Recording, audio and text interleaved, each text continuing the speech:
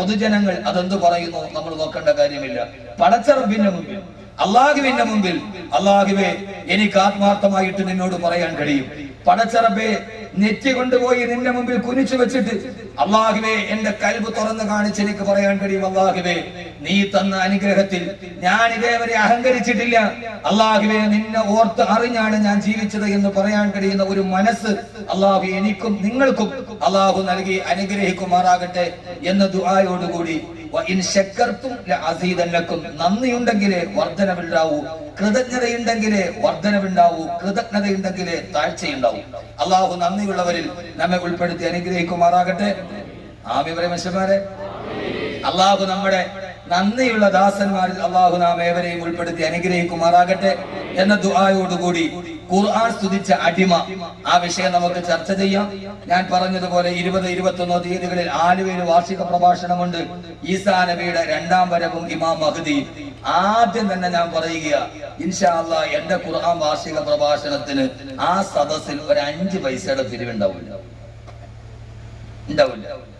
ഇപ്പൊ തന്നെ പറഞ്ഞേക്കും ബക്കറ്റ് വീടുണ്ടാവും അല്ലാതെ അവിടെ വെച്ച് പതിനായിരമോ അല്ലാതെ കൈപൊക്കിക്കളൊന്നുമില്ല നിങ്ങൾ എന്തുകൊണ്ട് കൊണ്ടുവന്ന സദസ്സിന് കൊടുക്കുന്നു അതല്ലാതെ വേറൊരു പിരിവ് ആ സദസ്സിൽ വെച്ചിട്ടുണ്ടാവും ഇൻഷാല്ല ആ വിഷയം ഈസാ നബിയുടെ രണ്ടാം വരവ് ഇമാം മഹദി. ഈ രണ്ട് ദിവസവും രണ്ട് വിഷയം പരമാവധി ഇൻഷാല്ല പറഞ്ഞു തീർക്കാനുള്ള പുറപ്പാടിലാണ്. അതിനുവേണ്ടി അശ്രാന്ത പരിശ്രമം നടത്തുന്നതിന്റെ പ്രവർത്തകർ അള്ളാഹു വർഗമായ പ്രതിഫലം നൽകി അനുഗ്രഹിക്കട്ടെ. ഞാൻ എന്റെ വിഷയത്തിലോട്ട് കടക്കുന്നു. ഖുർആൻ സ്തുതിച്ച അടിമ. അടിമകൾ രണ്ട് വിഭാഗമാണ്. ഒന്ന് അള്ളാഹുവിന്റെ അടിമ മറ്റൊന്ന് മനുഷ്യന്റെ അടിമ. ലോകത്തെ അടിമകൾ രണ്ടേ രണ്ട് വിഭാഗം മാത്രമേ ഉള്ളൂ വേറെ ഒന്നുമില്ല. ഒന്ന് അള്ളാഹുവിന്റെ അടിമ രണ്ട് മനുഷ്യന്റെ അടിമ.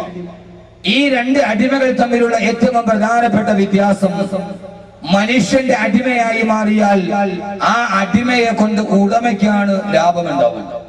പക്ഷേ അള്ളാഹുവിന്റെ അടിമയായി മാറിയാൽ ഉടമയെ കൊണ്ട് അടിമയ്ക്കാണ് നേട്ടമുണ്ടാവുക.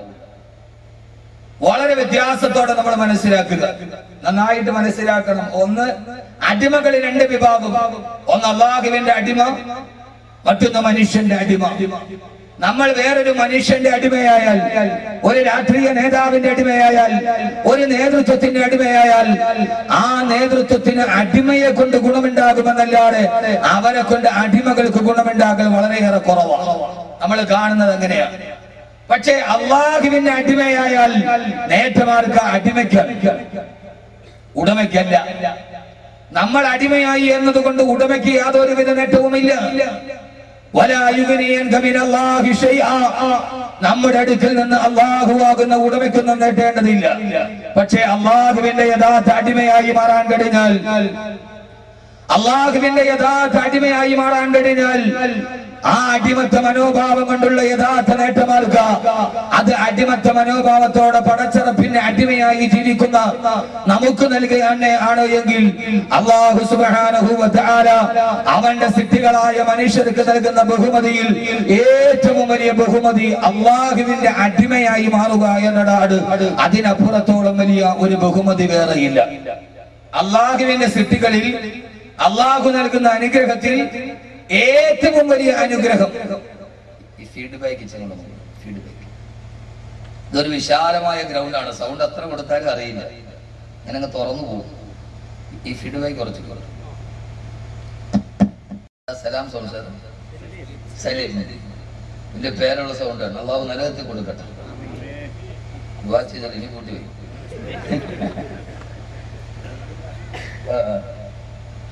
അള്ളാഹു തആല അള്ളാഹു സുബ്ഹാനഹു വ അവന്റെ പടപ്പുകൾക്ക് നൽകുന്ന ബഹുമതിയിൽ ഏറ്റവും പ്രധാനപ്പെട്ട ബഹുമതി ഏറ്റവും വലിയ ബഹുമതി അള്ളാഹുവിന്റെ അടിമ അബുദ് എന്ന് പറയുന്ന ബഹുമതിയാണ്.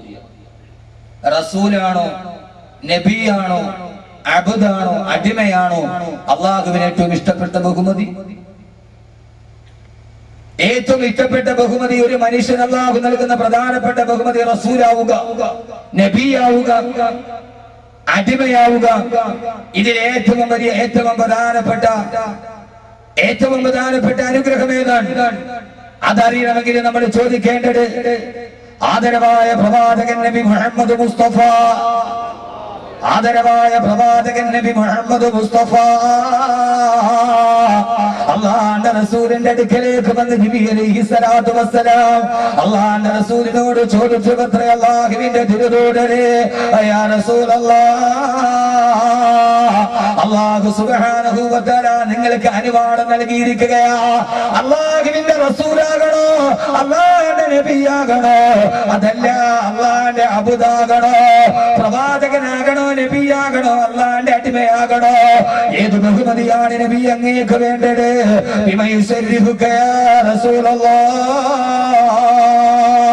الله ചോദിച്ചു പറ്റ തിരുദൂതരെ ഏത് പദവി വന്നിട്ടാ ഞാനങ്ങേ ബഹുമാനിക്കേണ്ടത് അഖില ലോക ബ്രഹ്മാണ്ട കടാകത്തെ സൃഷ്ടിക്കാൻ കാരണഭൂതരായ ഈ ലോകത്തിന്റെ സന്മാർഗത്തിന്റെ വെളിച്ചമായ അള്ളാന്റെ റസൂലിനോടാണ് ചോദ്യം വരുന്നത് നബിയെ. ഏത് ബഹുമതിയാണ് വേണ്ടത്? അള്ളാന്റെ തിരുദൂതരെ റസൂൽ എന്ന ബഹുമതി വേണോ? അതല്ല അതല്ല നബി എന്ന ബഹുമതി വേണോ? അതല്ല ഒരു അബുദ ഒരു അടിമ എന്ന ബഹുമതി വേണോ? ആ സമയത്ത് അള്ളാന്റെ റസൂൽ തെരഞ്ഞെടുത്തതല്ല അള്ളാഹുവേ അള്ളാഹുവേ അള്ളാഹുവേ പിന്നെ സുബധീരയിക്ക അള്ളാന്റെ റസൂൽ പറഞ്ഞു പറ്റേ അള്ളാഹുവേ റസൂൽ എന്ന ബഹുമതിയല്ല നബി എന്ന അടയാളമല്ല. അള്ളാഹുവേ നിന്നിലേക്ക് ചേർത്തിട്ട് നിന്റെ അടിമ എന്ന് പറയാ. അള്ളാഹുവേ നിന്റെ ഒരു യഥാർത്ഥ അടിമയായി അറിയപ്പെടാ. നിന്റെ കൽപ്പനകൾ അനുസരിക്കുന്ന നിന്റെ നിരോധനങ്ങളിൽ നിന്ന് മാറി നിൽക്കുന്ന അള്ളാഹുവേ നിന്റെ തെറ്റുക്ക് വേണ്ടി സദാസമയവും ജീവിക്കുന്ന നിന്റെ ഒരു അടിമയായി മാറാൻ ഏറ്റവും വലിയ ബഹുമതിയായിട്ട് അള്ളാന്റെ റസൂൽ തിരഞ്ഞെടുത്തതേടാ. അതുകൊണ്ടല്ലേ അള്ളാന്റെ റസൂലിന്റെ ഏറ്റവും വലിയ അനുഗ്രഹം പറയുമ്പോ മിഹറാജിന്റെ യാത്രയുടെ കഥ പറയുമ്പോ അള്ളാഹ് പറയുന്നത് എന്തെന്നറിയുമോ സുബ്ഹാനല്ലദീ أسرى بعبده. ليلا من المسجد الحرام. سبحان الذي أسرى വാനാരോഹണം ചെയ്യിച്ചവനെന്നല്ല. തന്റെ നബിയെ വാനാരോഹണം ചെയ്യിപ്പിച്ചവനെന്നല്ല. അല്ല പറഞ്ഞതെന്താ? എന്റെ അടിമയെ എന്റെ യഥാർത്ഥ അടിമയെ സപ്തവാനങ്ങളും താണ്ടിക്കിടന്ന് ആകാശത്തിന്റെ നവോമണ്ഡലത്തിലേക്ക് വാനയാത്ര ചെയ്യിപ്പിച്ച അള്ളാഹു എത്രയോ പരിശുദ്ധനാ. അള്ളാന്റെ അടിമ എന്ന പദമാണ് ഏറ്റവും വലിയ പദവി എന്ന് പരിചയപ്പെടുത്തിയത് കൊണ്ട്. വസ്സലാമിനെ ഖുർആൻ പരിചയപ്പെടുത്തുമ്പോ അള്ളാഹു നൂഹ് നബിയെ കുറിച്ച് പറഞ്ഞിട്ടുണ്ട്. ഇന്നഹു കാന അബദന ശകൂറാ. ഇന്നഹു കാന അബദന ശകൂറാ. നൂഹ് നബി വല്ലാതെ തന്നെയുള്ള എന്റെ അടിമയാ. എന്റെ അടിമയാ എന്റെ അടിമയാ എന്റെ അടിമയാ. തൊട്ടിലിന്റെ ഉള്ളിൽ പ്രസവിച്ചു വീടുമ്പോ ആദ്യമായി ലോകത്തിന്റെ പുറംതരിയുടെ മുകളിലോട്ട് കടന്നു വരുമ്പോ നാവ് കൊണ്ട് തുറന്നിട്ട് ആദ്യത്തെ വാക്യം പറയുമ്പോ ആദ്യത്തെ ഭാഷാ പദാവലി പറഞ്ഞ നബി ആദ്യമായിട്ട് തന്നെ കുറിച്ച് പരിചയപ്പെടുത്തിയതെന്താ കാല ഇന്നി അബ്ദുല്ലാഹ് അതാനിയൽ കിതാബ് ആദ്യമായിട്ട് തൊട്ടിലോട്ട് പറന്നു വീടുന്നതിന് മുമ്പേ ചോരയുടെ മണം മാറുന്നതിന് മുമ്പേ ആദ്യമായി സംസാരിച്ച ഈസാനബി പറഞ്ഞിടണ്ട ഞാൻ ദൈവത്തിന്റെ പുത്രനല്ല ഞാൻ യേശുവിന്റെ സഹോദരനല്ല ഞാൻ മറ്റൊരാളുടെ പാപം പേറാൻ വന്നവനല്ല. കാല ഇന്നി അബുദുള്ള ഞാൻ അല്ലാഹുവിന്റെ ഞാൻ അള്ളാഹുവിന്റെ ഒരടിമയാണ് ഞാനൊരടിമയാണ്. എല്ലാവരെയും പോലെ ഞാനും ഒരടിമത്ത മനോഭാവമുള്ളവരാണെന്ന് എന്റെ പ്രിയപ്പെട്ട സഹോദരങ്ങൾ അള്ളാഹു നൽകുന്ന നമ്മുടെ പദവിയിൽ സമ്പത്ത് നൽകട്ടെ ആരോഗ്യം നൽകട്ടെ സൗന്ദര്യം നൽകട്ടെ. ഏത് കിട്ടിയാലും ഈ ദുനിയാവിന് കിട്ടുന്ന ഏറ്റവും വലിയ ബഹുമതിയേടാ. അതുകൊണ്ടല്ലേ ബഹുമാനപ്പെട്ട പ്രവാചകന്മാര് ദുആ ചെയ്തപ്പോ അള്ളാഹുവെ അധികാരം വേണമെന്നല്ല സമ്പത്ത് വേണമെന്നല്ല സൗന്ദര്യം വേണമെന്നല്ല അള്ളാഹുവേ വാദഖിൽനി ബിറഹ്മതിക ഫീ ഇബാദിക സാലിഹീൻ. അള്ളാഹുവേ അള്ളാഹുവേ അള്ളാഹുവേ അപാരമായ നിന്റെ കാരുണ്യത്തിന്റെ ഉള്ളിൽ എന്നെ ഉൾപ്പെടുത്തിയിട്ട് നിന്റെ ഒരു സാരികായ അടിമയായി നിന്റെ ഒരു യഥാർത്ഥ അടിമയായി നിന്റെ മുമ്പിൽ തലകുനിക്കുന്ന അടിമയായി നിന്നോട് യാചിക്കുന്ന നിന്റെ മുമ്പിൽ കണ്ണുനീരിട്ട് വീഴുന്ന നിന്റെ മുമ്പിൽ സമസ്തവും സമർപ്പിക്കുന്ന ഒരടിമ എന്ന പദവി ലഭിച്ചാൽ ഒരടിമ എന്ന പദവി ലഭിച്ചാൽ ഒരടിമ എന്ന പദവി ലഭിച്ചാൽ അതുകൊണ്ടല്ലേ முகாத ரதி அல்லாஹு தரான் பாடி போயிட அல்லாஹுவே ومما زادني سرفا وتيها وزدت بأخم سيئة ثريا دخولي تحت كونك يا عبادي وعن سيرة أحمد لي نبيا അള്ളാഹുവേ ആകാശമണ്ഡലത്തിൽ തത്തിക്കളിക്കുന്ന പുഞ്ചിരി പൊടിക്കുന്ന കാർത്തിക നക്ഷത്രത്തെ എന്റെ കൈവെള്ളയിൽ എടുത്തു തരാമെന്ന് ഒരാൾ എന്നോട് പറഞ്ഞ ആകാശത്തിൽ മിന്നിത്തിളങ്ങുന്ന തുറയ്യ നക്ഷത്രം എന്റെ കൈവെള്ളയിൽ കിട്ടുന്നതിനേക്കാൾ അള്ളാഹുവേ എനിക്ക് ഇഷ്ടമേടെന്നറിയോ അതുഹൂലി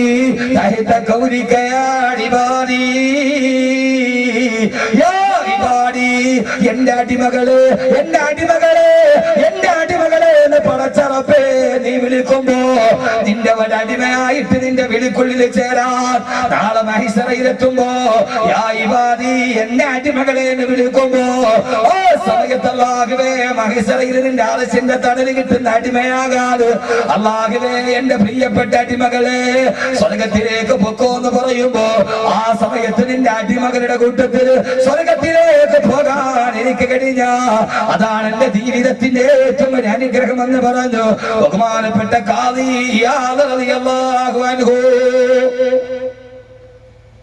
ഒരു മനുഷ്യൻ ഞാൻ നിങ്ങളും ജീവിതത്തിൽ ആഗ്രഹിക്കേണ്ട ഒരു പദവിയാണ് അള്ളാഹുവിന്റെ അടിമയായി മാറുക അള്ളാഹുവിന്റെ അടിമയായി മാറുക അള്ളാഹു നമ്മളെ അടിമകളാക്കി തരട്ടെ. എന്താ മനുഷ്യന്മാരെ? അമ്മ പറയാ അടിമയാവാ ഇത്ര പാടാ? അള്ളാഹു നമ്മളെ അടിമകളാക്കി തരട്ടെ. എപ്പോഴും ഉടമയാവാനല്ല. നമുക്കൊരു വലിയ ആഗ്രഹം എപ്പോഴും ഉടമയാവാനാ ഒരു നല്ല വീതിയുള്ള കരയുള്ള ഒരു പശമുഖ്യ മുണ്ടൊക്കെ ഇട്ട്. ഞാൻ എന്നെ തന്നെ പറയണത്? വേറെ ആരെ പറയുന്നത് വേറെ ആരെങ്കിലും പറയുമ്പോഴല്ലോ കുഴപ്പമില്ല. എന്നെ പറഞ്ഞാൽ കുഴപ്പമില്ലല്ലോ. നമുക്കെപ്പോഴും ഇഷ്ടം എന്താ? നല്ല വീതിയുള്ള കരയുള്ള പശയുള്ള മുണ്ടൊക്കെ മുക്കി. അതൊക്കെ കഴിഞ്ഞിട്ട് ഒരു നല്ല പശയൊക്കെ ഇച്ചിരി കതറ് കോട്ടനൊക്കെ ഇട്ട് വൈകുന്നേരം ആകുമ്പോൾ രാവിലെ ആകുമ്പോൾ നന്നായിട്ട് ഇങ്ങനെ ഇറങ്ങിയിട്ട് നമ്മുടെ പ്ലൈവുഡ് കമ്പനിയിൽ പത്ത് ജോലിക്കാരുണ്ടെങ്കിൽ അതല്ലെങ്കിൽ നമ്മുടെ കമ്പനിയിൽ പത്ത് ജോലിക്കാരുണ്ടെങ്കിൽ കടന്നു പോകുന്ന വഴിയിൽ വരുമ്പോൾ തന്നെ അത്തറിന്റെ മണമടിക്കുമ്പോൾ ഗുഡ് മോർണിംഗ് സാർ അങ്ങനെ വിളിച്ച് ഒരു ഉടമയാകാൻ ഇഷ്ടമില്ലാത്തവരാരാ ഉള്ളത്? ഏതൊരാളെ കണ്ടാലും പറയും എന്താ ജോലി? കമ്പനി നടത്താൻ പത്ത് പതിനഞ്ച് ജോലിക്കാരുണ്ട്. പത്ത് പതിനഞ്ച് ജോലിക്കാരുണ്ട് എന്ന് പറഞ്ഞാൽ അതിന്റെ അർത്ഥം എന്താ? ഞാൻ ആ പതിനഞ്ച് പേരുടെ പതിനഞ്ച് പേരുടെ ഉടമയാണെന്നാണ് ഉടമയാകാൻ ആഗ്രഹിക്കാം പക്ഷെ അടിമയാകാൻ ആഗ്രഹിക്കണം. അള്ളാഹുവിന്റെ അടിമയാകാൻ. അങ്ങനെ അള്ളാഹു ഒരു അടിമയെ പരിചയപ്പെടുത്തുന്നുണ്ട്. ഇൻഷാ അള്ളാഹ് അതാണ് നമ്മുടെ വിഷയം. അള്ളാഹു നമ്മൾ അങ്ങനെ ആക്കട്ടെ. അള്ളാഹു നമ്മൾ അങ്ങനെ ആക്കട്ടെ. എന്താ ആമീനില്ലാത്തത് ആമീൻ ആമീനില്ലാത്തത് എന്താ? കേരളത്തിൽ ഒരു ഒരു വലിയ പെരുന്നാൾ ഇരുന്നൂറ് പോത്ത് നടക്കുന്ന സ്ഥലമുണ്ടെങ്കിൽ ഇത് കണ്ടന്തറയാണ് അള്ളാഹു നിലനിർത്തി കൊടുക്കട്ടെ. നീ മത്തിപ്പിച്ചു കൊടുക്കട്ടെ. കണ്ടന്തര കേരളത്തിൽ ഇരുന്നൂറിലധികം പോത്തുകൾ ഇറക്കുന്ന ഒരു സ്ഥലമുണ്ടെങ്കിൽ ഇത് കണ്ടന്തറയാ? അള്ളാഹു ആ ഒരു മനസ്ഥിതി അള്ളാഹു നിലനിർത്തി കൊടുക്കട്ടെ ഏതുകൊണ്ടും വിഭവശേഷി കൊണ്ടും സാമ്പത്തിക ശേഷി കൊണ്ടും അള്ളാഹു നന്നായിട്ട് അനുഗ്രഹിച്ച ഒരു മഹലാണ് ഈ മഹൽ അള്ളാഹു അതിനെ നിലനിർത്തി കൊടുക്കുമാറാകട്ടെ അള്ളാഹു ഈ മഹലിലെ ജനങ്ങളെ അള്ളാഹു സ്വീകരിക്കുമാറാകട്ടെ. ഇവിടെ എത്തിയ എല്ലാവർക്കും അള്ളാഹു അനുഗ്രഹം നൽകി അള്ളാഹു ജീവിതത്തിൽ നിലനിർത്തുമാറാകട്ടെ. എന്റെ പ്രിയപ്പെട്ട സഹോദരങ്ങളെ എല്ലാം കയ്യിൽ കിട്ടുമ്പോ ദുനിയാവുണ്ടാവും ദുനിയാവുണ്ടാവും സമ്പത്തുണ്ടാവും. പക്ഷെ ആ സമ്പത്ത് നാളെ നിലനിൽക്കണമെന്നില്ലല്ലോ. ആ സമ്പത്ത് നാളെ നിലനിൽക്കണമെന്നില്ലല്ലോ. കൊള്ളില്ലാഹുമ്മ മാലിക്കൽ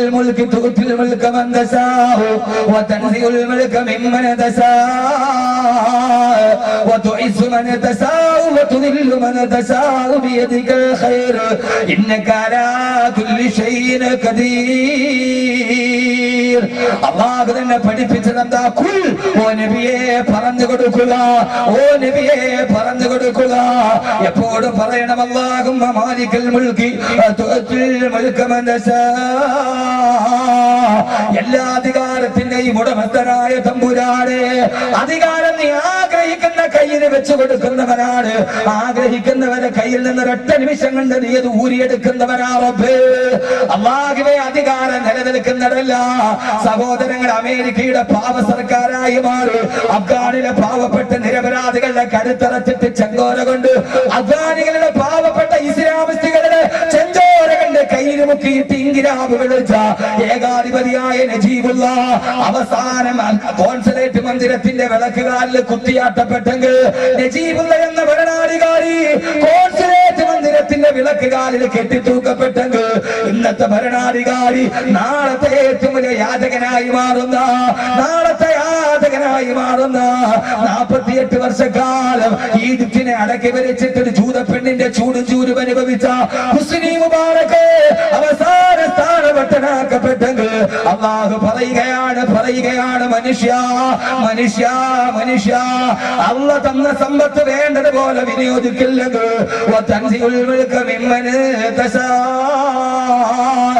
അത് ആഗ്രഹിക്കുന്ന സമയം നിന്റെ കയ്യിൽ നിന്ന് ഊരിയെടുത്തിട്ട് അത് വേറെടുത്തിന്റെ കയ്യിൽ കൊടുക്കാൻ ഖജനാവിന്റെ ഉടമസ്ഥനായ റബ്ബിന് യാതൊരുവിധ പ്രയാസമില്ലെന്ന് അള്ളാഹുവിന്റെ വിശുദ്ധ ഖുർആൻ. കണ്ട് കണ്ടെന്നിരിക്കും ജനത്തിനെ കണ്ടില്ലെന്ന് നടിക്കുന്നിടുമ്പവാൻ രണ്ട് നാല് ദിനം കൊണ്ടൊരുവനെ തണ്ടിലേറ്റ് നടത്തുന്നതുമ്പവാൻ മാളിക മുകളേറിയ മണ്ണന്റെ തോളിൽ മാറാപ്പ് കേറ്റുന്നതുമ്പവാൻ അള്ളാഹു എന്ന സമ്പത്ത് നിലനിൽക്കില്ല. ഇന്നൊരാളുടെ കയ്യിൽ നാളെ? നാളെ? ഇന്നത്തെ മുതലാളി നാളത്തെ തൊഴിലാളി ഇത് ഭൂമിയുടെ നിയമമാണ് അള്ളാഹു ആരുടെ കയ്യിലും അത് കൃത്യമായി നിയന്ത്രിതമായിട്ടല്ലാതെ അള്ളാഹു കൊടുത്തിട്ടില്ല وتؤتي الملك من تشاء وتنزع الملك ممن تشاء ആഗ്രഹിക്കുമ്പോൾ അവ തീരുമാനിക്കുമ്പോ യശസ് ഉണ്ടാകും അവ തീരുമാനിക്കുമ്പോ അത് മുഴുവനും ഇല്ലാതാകും. സർവ നന്മകളുടെയും താക്കോൽ അള്ളാടെ കയ്യിലാണ് അതുകൊണ്ട് അള്ളാഹുവിന്റെ അടിമ എന്ന് പറയുന്ന ഒരു പദവി അത് ലോകത്തൊരിക്കലും അവസാനിക്കില്ല. ഒരിക്കലും? ഒരിക്കലും? അവസാനിക്കില്ല. അതുകൊണ്ടല്ലേ ജിബി അലൈഹി സ്വലാത്തു വസ്സലാമിന്റെ ചാരത്ത് അള്ളാന്റെ റസൂൽ ഇരിക്കുമ്പോ ആ സമയത്താണ് അള്ളാഹുവിന്റെ കൽപ്പന ഉണ്ടാകുന്നത് നബിയെ. അള്ളാന്റെ തിരുദൂതരെ അള്ളാന്റെ തിരുദൂതരെ അള്ളാന്റെ തിരുദൂതരെ. അങ്ങേക്ക് എങ്ങനെ അറിയപ്പെടാനാണ് താല്പര്യം? മലിക്കൻ റസൂല രാജാവായ റസൂലാകണോ? അതല്ല അബ്ദൻ അതല്ല പ്രവാചകനായ അടിമയാകണോ? രാജാവായ പ്രവാചകനാകണോ? അതല്ല അടിമയായ പ്രവാചകനാകണോ? ഏത് തിരഞ്ഞെടുത്തോലവിയേ നബിയെ? ആ സമയത്ത് അല്ലാണ്ട് റസൂൽ വസ്സലാമിന്റെ നേരെ നോക്കി ജിബ്രീൽ ആംഗ്യം കാണിച്ചു നബിയെ തവാദുവിനെ തെരഞ്ഞെടുത്ത നബിയെ വിനയത്തെ തെരഞ്ഞെടുത്ത നബിയെ. അള്ളാന്റെ റസൂൽ പറഞ്ഞ അള്ളാഹുവേ അള്ളാഹുവേ അള്ളാഹുവേ. മബുദനെ ഒരു പാവപ്പെട്ട ദാസനായി അറിയപ്പെടാനാണ് എനിക്ക് ആഗ്രഹമെന്ന് പറഞ്ഞു. എന്നിട്ട് വെറുതെ ഇരുന്നോ? എന്നിട്ട് വെറുതെ ഇരുന്നോ? പാതിരാവിന്റെ നിശബ്ദതയിൽ പാതിരാവിന്റെ നിശബ്ദതയിൽ സ്വന്തം ഭാര്യയുടെ ചൂടും ചൂരും അനുഭവിച്ചുകൊണ്ട് കിടന്നുറങ്ങുമ്പോ ഭാര്യ ഉറങ്ങിക്കഴിയുമ്പോ ആ കിടപ്പുറയിൽ നിന്ന് പള്ളിക്കുള്ളിലേക്ക് വന്നിട്ട് കാലിന് നീര് വെക്കുന്നത് വരെ നിസ്കരിക്കുമ്പോ കിന്നയായ ഭാര്യ തന്റെ പ്രിയപ്പെട്ട ഭർത്താവ് പടച്ചറപ്പിന്റെ മുമ്പിൽ തലകുരിച്ചിട്ട് വിഷമിക്കുന്നത് കാണുമ്പോ എന്തേ ഭർത്താവേ എന്തേ തിരുദൂതരെ അള്ളാഹു സർവപാപങ്ങളും പുറത്തു തന്നടല്ലേ പിന്നെന്തേ ഇങ്ങനെ നിസ്കരിക്കുന്നുണ്ടെന്ന് ചോദിക്കുമ്പോ അള്ളാന്റെ റസൂലിന്റെ മറുപടി എന്താ? അഫലാകൂലു ഞാനൊരു നന്ദിയുള്ള ദാസനായി തീരണ്ടേ ആയിഷ. ഏത് സമയത്താണ് ഈ സംഭവം നടക്കുന്നത്? ചിന്തിക്ക മനുഷ്യന്മാരെ നന്നായിട്ടൊന്ന് ചിന്തിക്ക് ഏത് സമയത്താ? അള്ളാന്റെ റസൂൽ ഭാര്യയോട് വിട പറഞ്ഞ് കിടപ്പറയിൽ നിന്നെഴുന്നേറ്റ് വന്നിട്ട് കാലിൽ നീര് വെക്കുന്നത് വരെ നിസ്കരിച്ചിടപ്പെടാ. ഇച്ചിട പോയപ്പോഴല്ല മക്കമ്പത്തകിന്റെ കാലഘട്ടത്തിലല്ല മക്ക തന്റെ കാൽച്ചുവെട്ടിൽ വന്നതല്ല എപ്പോഴെന്നറിയോ.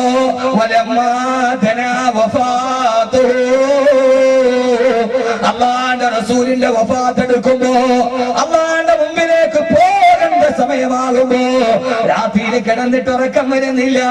അള്ളഹാനോട് അടിമയാകണമെന്ന് ആവശ്യപ്പെട്ട് അടിമയായിട്ട് മനോഭാവമില്ലാതെ യഥാർത്ഥ അടിമയാകാതെ എങ്ങനെയാ പടച്ചറപ്പിന്റെ മുമ്പിൽ പോയി എഴുന്നേറ്റ് നിൽക്കുക എന്നോർത്തിട്ട് രാത്രി ഉറക്കമില്ലാതെ കാലിന് നീര് വെക്കുന്നത് വരെ നിസ്കരിച്ചു പോയി. സുന്നത്തമൻ അഹിയല്ലലാമയില അനിഷ്ടകത്ത് കഥമാ. മൗരായ സെല്ലിവസൽ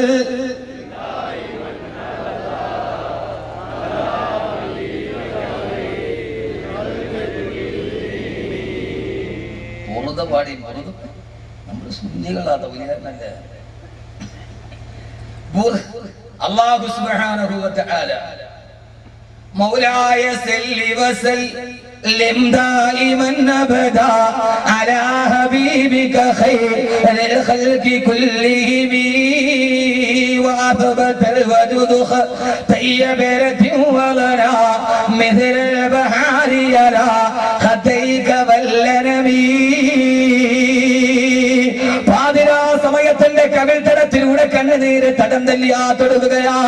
എങ്ങനെയാ എന്റെ കവിൽ കണ്ണുനീർ ഒഴുകിയിടുന്നറിയോ?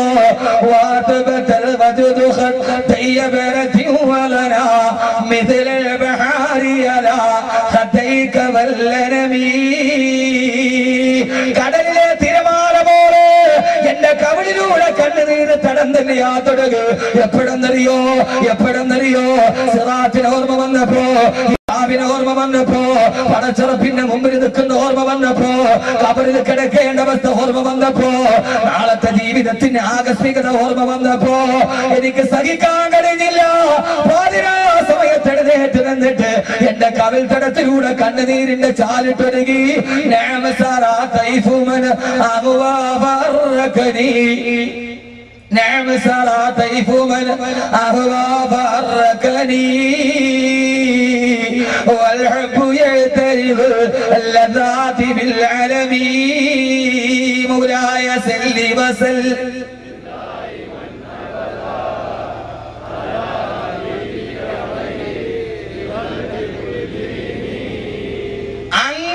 അങ്ങനെ കണ്ണുനീരൊടുക്കി അള്ളാന്റെ റസൂൽ കാൽ നീര് വെക്കുന്നത് വരെ റസൂലുള്ളാഹി നിന്ന് നിസ്കരിച്ചു നമ്മൾ പറയാറുണ്ട് എപ്പോഴാ? ആ സന്ദർഭമേടാ റസൂൽ ഇവിടെ പറയാൻ സമയമായി. അള്ളാഹുവേ നീ എന്നോട് അടിമയാകണമെന്ന് ചോദിച്ചപ്പോ അടിമയാകണമെന്ന് പറഞ്ഞവനാണ് ഞാൻ അള്ളാഹുവേ. എനിക്ക് നാളെ ഒരു അടിമയായി അടിമകൾക്കാണ് നാളെ ഉടമയുടെ സമ്മാനം കിട്ടുക.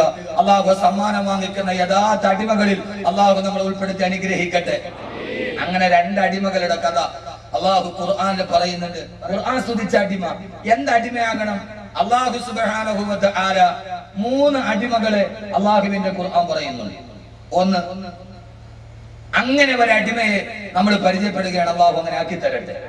ഞാനൊരു അടിമ എന്ന് പരിചയപ്പെടും. ഖുർആൻ പറഞ്ഞ അടിമയാണ്.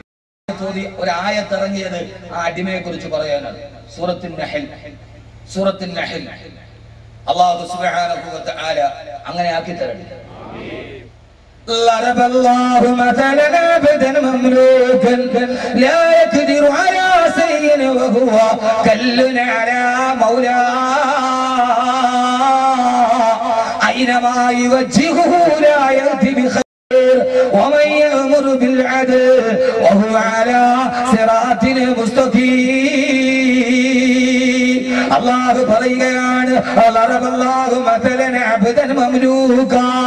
ഒരടിമയല്ലാഹു നിങ്ങളുടെ മുമ്പിൽ പരിചയപ്പെടുത്തി തരികയാ. പടച്ചറപ്പിന്റെ ഖുർആനാണ് സൂറത്തിന്റെ അഹിലാണ്. അല്ല പറയുന്നത് നമ്മളെ കുറിച്ചാണ് ചെറുപ്പക്കാരാ ഒരടിമയെ പടച്ചറപ്പ് നിങ്ങളുടെ മുമ്പിൽ പരിചയപ്പെടുത്തി തരികയാ. അവൻ ആരെന്നറിയോ? മൗലാ. وهو كل على مولاه അവനവന്റെ ഉടമയ്ക്ക് ഭാരമായി മാറി. അവനവന്റെ ഉടമയ്ക്ക് ഭാരമായി മാറി. ഉടമയ്ക്ക് ഭാരമായ അടിമ. എന്റെ ശബ്ദം കേൾക്കാൻ ഇവിടെ തടിച്ചുകൂടിയ എന്റെ പ്രിയപ്പെട്ട ചെറുപ്പക്കാര. എന്റെ പ്രിയപ്പെട്ട ചെറുപ്പക്കാരി അല്ല പറയുകയാണ് അവൻ ഈ ഭൂമിയിൽ ജീവിച്ച എന്റെ അടിമയാണ് പക്ഷേ.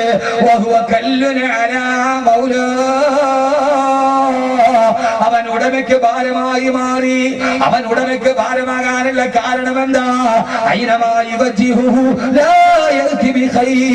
അവൻ എവിടേക്ക് തിരിഞ്ഞാലും ഒരു നന്മ അവൻ കൊണ്ടുവരികയില്ല എവിടേക്ക് തിരിഞ്ഞാലും ഇടത്തോട്ട് പോയാലും വലത്തോട്ട് പോയാലും മുമ്പോട്ട് പോയാലും പുറകിലോട്ട് പോയാലും അവൻ തിന്മ മാത്രമല്ലാതെ ചെയ്യില്ല.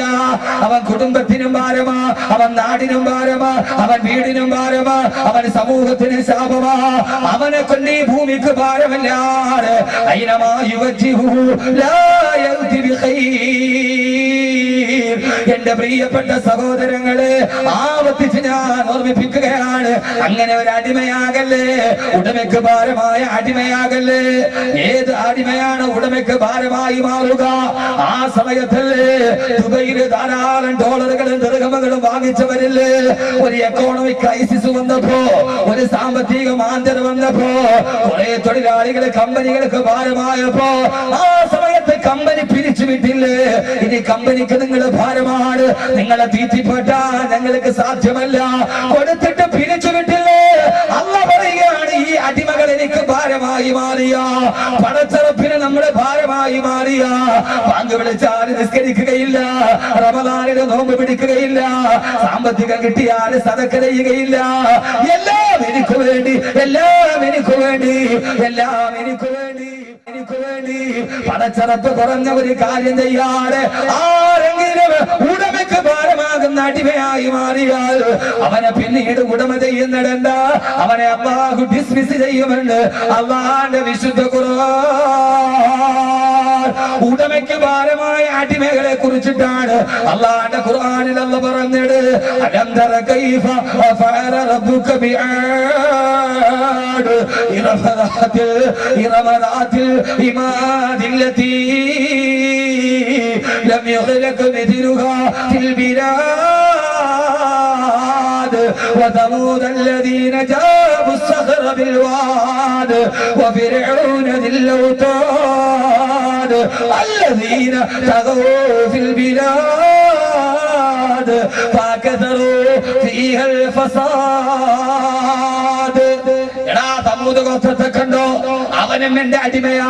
ആത് ഗോത്രത്തെ കണ്ടോ? അവനും എന്റെ അടിമയാ. പറോവയെ കണ്ടോ? അവനും എന്റെ അടിമയാ. പക്ഷേ ഫസാദ്. ഈ ഭൂമിയിലെ ഒരു കുഴമ്പത്തിന് ഇവിടത്തെ കുഴപ്പത്തിന് അവരുടെ പണം വിനിയോഗിച്ചപ്പോ അള്ള കൊടുത്ത പണമല്ലേ? അത് ചെമ്മണ്ണൂരിനാണെങ്കിലും ആരുക്കാണെങ്കിലും ലുലുവിനാണെങ്കിലും പണം കൊടുക്കുന്നതാരാ? പണം കൊടുക്കുന്നതാരാ? വലില്ലാഹി. ആകാശ ഭൂമികളുടെ താക്കോൽ താക്കോൽ പടച്ചറപ്പിന്റെ കയ്യിലാ. ആർക്കാണോ പണം കൊടുത്തത്? ഓ പണം അവൻ ഫസാദിന് വേണ്ടി വിനിയോഗിച്ച. സ്വർണത്തിന്റെ ചൂവല്ലറി ഉദ്ഘാടനം ചെയ്യാൻ വേണ്ടി വന്ന. കണ്ണൂരിൽ കണ്ണൂരിൽ കണ്ണൂരിൽ ഫുട്ബോളിന്റെ ദൈവം. ദീഗോ മറഡോണ ഇരുപത്തിനാല് മിനിറ്റ് സ്റ്റേജിൽ നിന്നപ്പോ ആറ് കോടി രൂപയാ ചെലവാക്കപ്പെട്ടതെങ്കിൽ ഡീഗോ മറഡോണ എന്ന ഫുട്ബോളിന്റെ ദൈവം അവൻ ആകാശത്തിന്റെ ദൈവമല്ല ഭൂമിയുടെ ദൈവമല്ല. ഫുട്ബോളിന്റെ ദൈവം ഇരുപത്തിനാല് മിനിറ്റ് നിന്നപ്പോ ആറ് കോടി രൂപയാ ചെലവെടുക്കപ്പെട്ടതെങ്കിൽ അല്ല പറയുന്നു എന്തേ സമൂതിനെ നിങ്ങൾ കണ്ടില്ല. ബഹുവ കല്ലുനല മൗല. ഉടമയ്ക്ക് ഭാരമായി മാറും. ഉടമയ്ക്ക് ഭാരമായി മാറിയാൽ എന്താ മനുഷ്യന്മാരെ പേടിച്ചു പോയാ? എന്താ പേടിക്കണമല്ലോ? ഉടമയ്ക്ക് ഭാരമായി ഉടമ എന്ത് ചെയ്യും? സൗദി അറേബ്യക്ക് ഭാരമായി.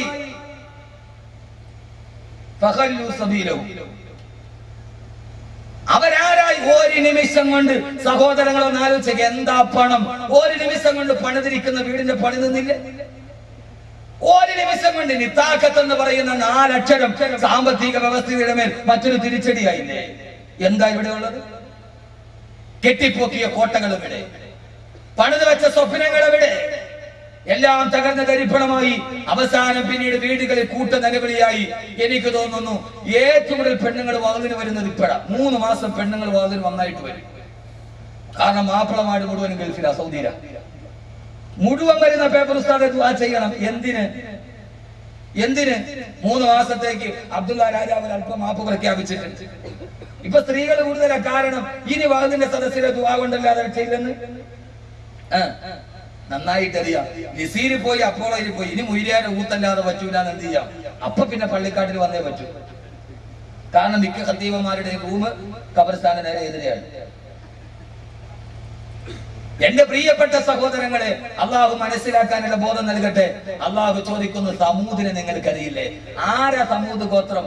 ഇനി രണ്ടടിമകളെ കൂടെ അല്ല പറയുന്നുണ്ട്. പക്ഷെ അള്ള വിഷയം അവസാനിപ്പിച്ചിട്ട് ഞാൻ പോകും അവസാനിപ്പിച്ചിട്ട് ഇതൊരായ അടി ഉടമയ്ക്ക് ഭാരമായി. ആ ഉടമയ്ക്ക് ഭാരമായ അടിമകളാണ് Aad Thamud Iram Firaun Haman Haman Qarun Abu Jahl ഉത്തുബത്ത് ഷെയ്ബത്ത് ഉത്തുബത്ത് ഷെയ്ബത്ത് وثمود الذين جابوا الصخر بالواد സമൂതിനെ നിനക്കറിയില്ലേ അവര് പാറക്കെട്ടുകൾ കൈവിരലുകൾ കൊണ്ടാണ് തുരന്നിട്ട് വീടുണ്ടാക്കിയത് എത്രയോ നാളുകൊണ്ട് നമ്മൾ കേൾക്കണ ചരിത്രമാ സമൂഹ ഗോത്രമാരാ അവര് പാറക്കെട്ടുകൾ തുരന്നിട്ട് അതിന്റെ അകത്ത് ജെ സി ബിയുടെ പല്ലിലെ ജെ സി ബിന്റെ പല്ല്. ജെ സി ബി ഞാൻ പറഞ്ഞ എന്തോ ജെ സി എനിക്ക് ജെ സി ബി പോണ കാണുമ്പോ എനിക്ക് തോന്നുന്നു വലിയ ബ്രാക്കറ്റ് ഫ്രണ്ടിൽ. മറ്റേ കൈയുണ്ടല്ലേ? അത്? ഈ ജെ സി ബി റോഡിൽ കൂടെ പോണ കാണുമ്പോ ഞാൻ ചിന്തിക്കാറുണ്ട് ഇവിടെ ഏതോ ഒരു ഒരു തക്കവയുള്ള ഒരു മനുഷ്യൻ കണ്ടുപിടിച്ചു. കാരണം രൂപം കണ്ടിട്ട് ഇങ്ങനെ ആമീനും പിടിച്ചോണ്ടാ പോണത്. ആ ഫ്രണ്ട് ബക്കറ്റ് ഇങ്ങനെ പൊന്തിട്ട് എപ്പോഴും ഒരു ആമയും രൂപത്തിൽ എന്ത് ചെയ്യുക? പോകുക എന്തേ? ഞാൻ ചിന്തിക്കാറുണ്ട്. കാരണം എന്താണെന്നറിയോ? ഒരു- സാ ഒരു പുതിയ സാധനം കണ്ടുപിടിക്കുമ്പോ അയാളുടെ വിശ്വാസം എന്താണോ അത് ആ- കണ്ടുപിടിക്കുന്ന സാധനത്തെ പ്രതിഫലിക്കും. ഇല്ലേ? ദുബൈയിൽ ബുർജുൽ ടവർ ഉണ്ട്. അതിന്റെ ഏറ്റവും മുകളിൽ ഒരു കുരിശിന്റെ അടയാളമുണ്ട്.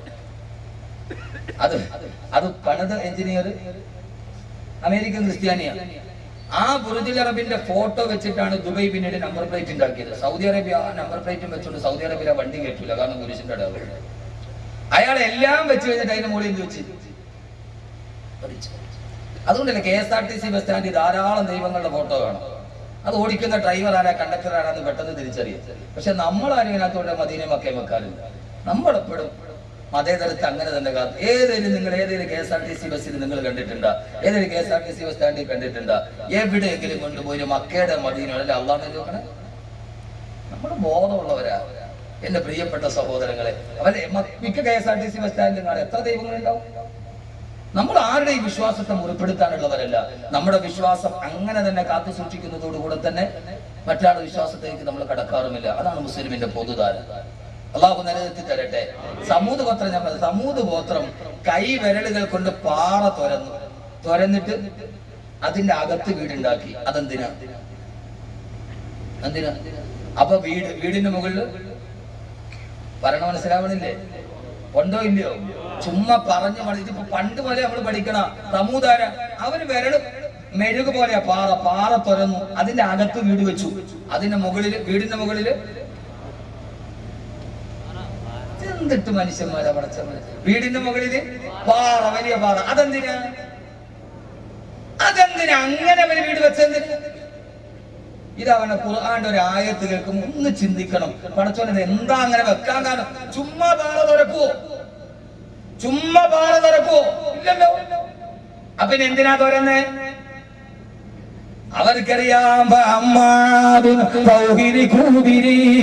സരസരിന് ആത്തിയ സക്കരകാലീം സകരയാലിന് വധമാനിയ തയ്യാം. പ്രസൂമം ഫതറൽ കോമ ഫീഹാ സരആ അവരുടെ മുൻഗാമികളായ സമൂഹം മാതൃഗോത്രമാണ് സമൂഹത്തിന് മുമ്പ് വന്ന ഗോത്രമല്ലേ ആദുഗോത്രം ആദുഗോത്രത്തിനോട് ഹൂദിന് പേര് വസ്സലാം പറഞ്ഞു അതെ ഉടമയ്ക്ക് ഭാരമാകരുത്. അള്ളാന്റെ കൽപ്പനകളെ തിരസ്കരിക്കരുത്. താന്തോതികളായിട്ട് നിങ്ങൾ ജീവിക്കരുത്. ആ സമയത്ത് ആദുഗോത്രം അതിനെ തള്ളിക്കളഞ്ഞപ്പോ അള്ളാഹു ആദുഗോത്രത്തെ നശിപ്പിച്ചത് എങ്ങനെയാ? സത്തറഹാലയും ഏഴ്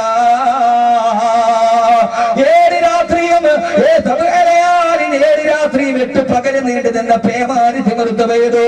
ആകാശത്തൊരു മഴ പെയ്തപ്പോ ഏഴ് രാത്രിയും എട്ട് പകൽ നീണ്ടു നിന്ന മഴ പെയ്തപ്പോ ആ മഴയിൽ വീടുകൾ തകർന്നടിഞ്ഞിട്ട്. ആദ്യഗോത്രക്കാര് നശിച്ചു പോയില്ലയോ ചത്തുമരച്ചു പോയില്ലയോ അവർക്ക് ശേഷമാണ് സമൂത് വരിക.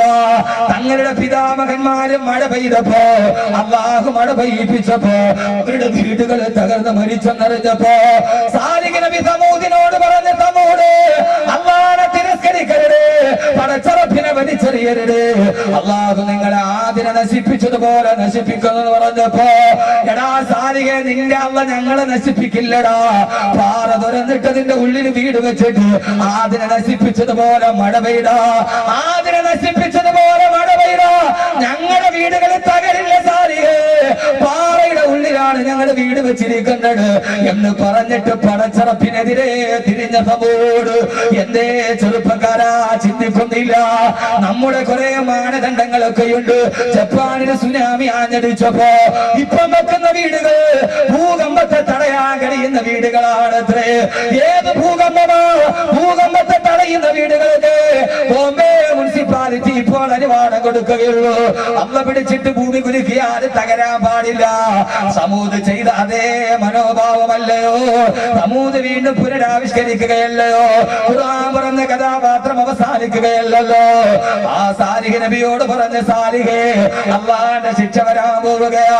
വീടിന്റെ ഉള്ളിൽ വാതിലടച്ചിരുന്നിട്ട് പാറക്കെട്ടിന്റെ ഉള്ളിൽ കയറിയിട്ട് പറഞ്ഞ സാലിഹേ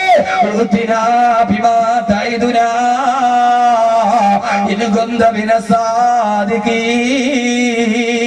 കരീമെങ്കിലും നിന്റെ അള്ളയോട് ഞങ്ങളെ നശിപ്പിക്കാൻ പറയടാ സഹോദരങ്ങളെ സഹോദരങ്ങളെ സഹോദരങ്ങളെ. പേമാരി പെയ്തില്ല കാർമേഘം വന്നില്ല ആകാശം പിളന്നില്ല ഭൂമി കുലുങ്ങിയില്ല. വാഹനത്തുഹും സായിക. ആകാശത്ത് ഇടിനാദം മുടങ്ങി. വീടിന്റെ ഉള്ളിൽ പാറക്കെട്ടിന്റെ ഉള്ളിലെ വീടുകൾ.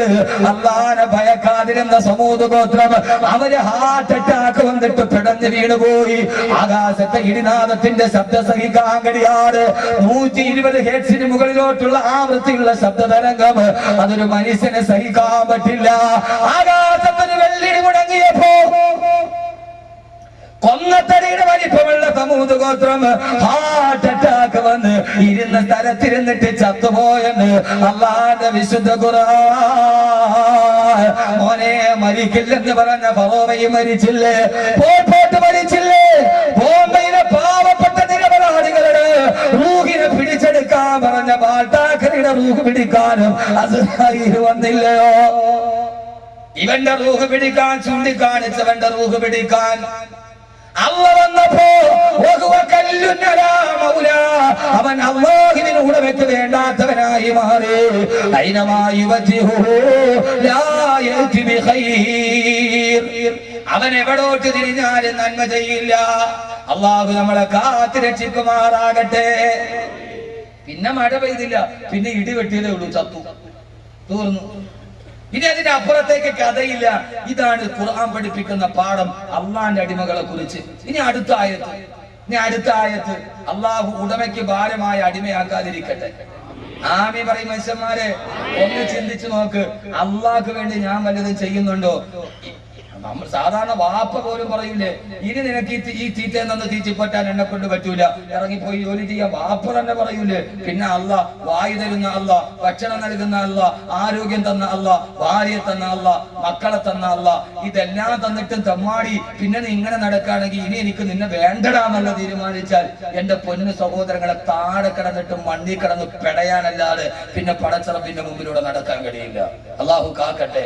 ഞാൻ എന്റെ പൊന്നു സഹോദരങ്ങളോട് സഹോദരിമാരോട് കൽബിൽ തൊട്ട് പറയുകയാണ് നമ്മുടെ ജീവിതം വെച്ചിട്ട് അള്ളാഹുവെ ഇന്നത്തെ ഒരു ദിവസം ഞാൻ പടച്ചറബിന് വേണ്ടി എന്ത് ചെയ്തു എന്ന ഒരു തിരിച്ചുനോട്ടം നോട്ടമുണ്ടാകട്ടെ ഞാൻ ഞാനൊരു ഭാരമാവുന്നു. ഞാൻ അള്ളാഹുവിന് ഭാരമായി മാറുന്നു. മദ്യപാനത്തിന്റെ ചരസിന്റെ ഗഞ്ചാവിന്റെ പീഡനത്തിന്റെ സർവതിന്റെയും പണ്ടൊക്കെ ഉമ്മമാര് പറയുമായിരുന്നു കുട്ടികളെ പത്താം ക്ലാസ് കഴിഞ്ഞാൽ നേഴ്സറി വിടാൻ പേടിയാ. ഇപ്പൊ ഉമ്മമാര് മാറ്റി കുട്ടികളെ കുട്ടികളെ കോളേജിൽ വിടാൻ പേടിയാന്ന് പറയുമായിരുന്നു. പത്താം ക്ലാസ് കഴിഞ്ഞാൽ പിന്നെ വേറെ ലോകമല്ലേ? ഇന്ന് ഉമ്മമാര് മാറ്റി ഇന്ന് കുട്ടികളെ നഴ്സറി വിടാൻ പേടിയാ. എന്തൊക്കെ വിവാദങ്ങൾ? എന്തൊക്കെ വിവാദങ്ങൾ? മനുഷ്യൻ നന്നാകുന്നു. എന്ന് മാത്രമേ ഇതിന്റെ പ്രത്യേകതയുള്ളൂ. വേറൊന്നുമില്ല. ടൈറ്റായ ജീൻസ് ഇട്ടിട്ട് പെണ്ണുങ്ങൾ നടക്കാൻ പാടില്ല എന്ന് രജീന്ദർ കുമാർ എന്ന് പറഞ്ഞൊരു മനുഷ്യൻ പറഞ്ഞു. എന്താ അയാളെ കൊല്ലാൻ വേണ്ടി വീണല്ലേ ഞാൻ അയാളുടെ പക്ഷത്താ. ടൈറ്റായ ജീൻസ് ഇട്ടിട്ട് നടക്കാൻ പാടില്ല എന്ന് ഞാൻ ചെല്ലാതെ പറയാം. അങ്ങനെ കുറെ ആളുകളെ എന്നാ അറിയാവുന്നവനെ വിളിക്കും. വാക്കബി വിളിക്കും. ചേലക്കുളുസ്ഥാൻ വിളിക്കും.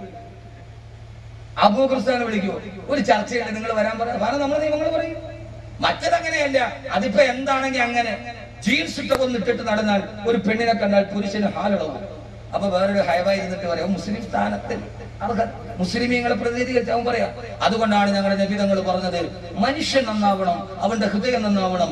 അങ്ങനെ നിങ്ങൾക്ക് ഒരു പെണ്ണിനെ കാണുമ്പോൾ എന്തെങ്കിലും തോന്നിയാൽ നിങ്ങൾ നോമ്പ് പിടിച്ചു കൊള്ളട്ടെ. ആ, ഹൈവാനോട് ചോദിക്കണ്ടട പുള്ളെ ഒരു പെണ്ണ് ഇങ്ങനെ അടിച്ചു പൊളിച്ചിട്ട് ഒരു പെണ്ണ് മുമ്പിൽ കൂടെ പോവാ.